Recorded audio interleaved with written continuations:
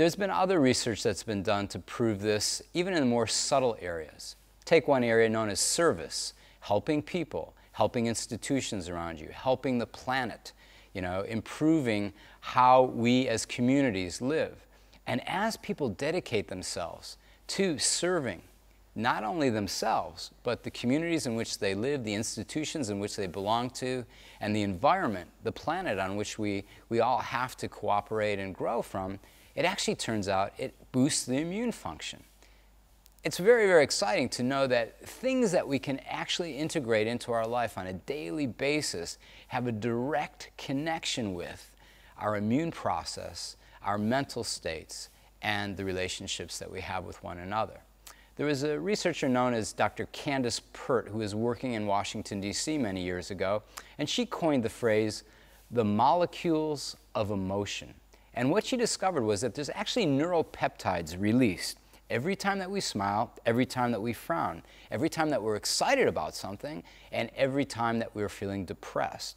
That there's chemical receptor sites on every organ of the body that receive these chemicals, these neurotransmitters that go through our system, and they can either boost our immune function, make our, our organs more vital, our life more alive, our immune system more dynamic, or can depress those things.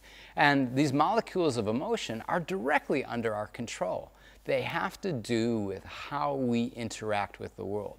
And the most beautiful aspect of health enhancement is that it gives us our power back. We're no longer the victim of our environments. We're no longer the victim of our interactions with the world around us. We are in the control seat. We can determine how we react to the changes in our lives, whether it's through previously very distressing situations or whether it's to joyful situations.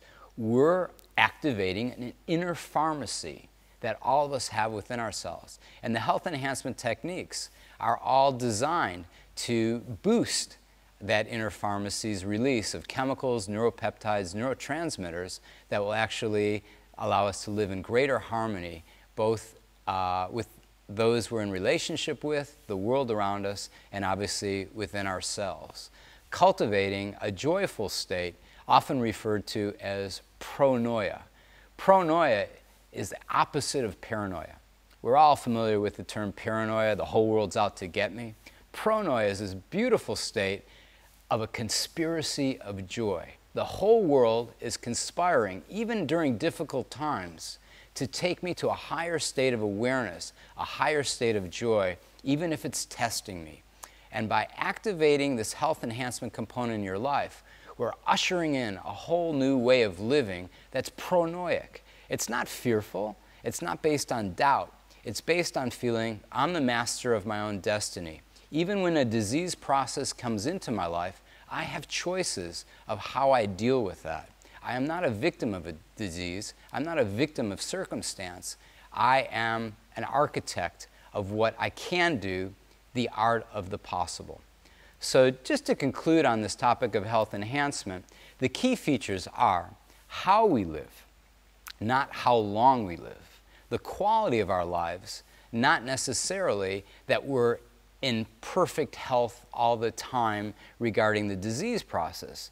Many of us have diseases in our daily lives, but we're still leading productive, energetic, alive lives. So health is not about the absence of disease.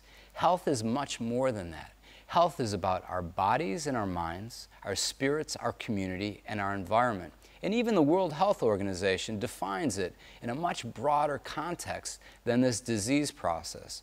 And the hope of this message of health enhancement is that we all begin to look at health in a very, very different way. Not with what's wrong with us, but what's right with us.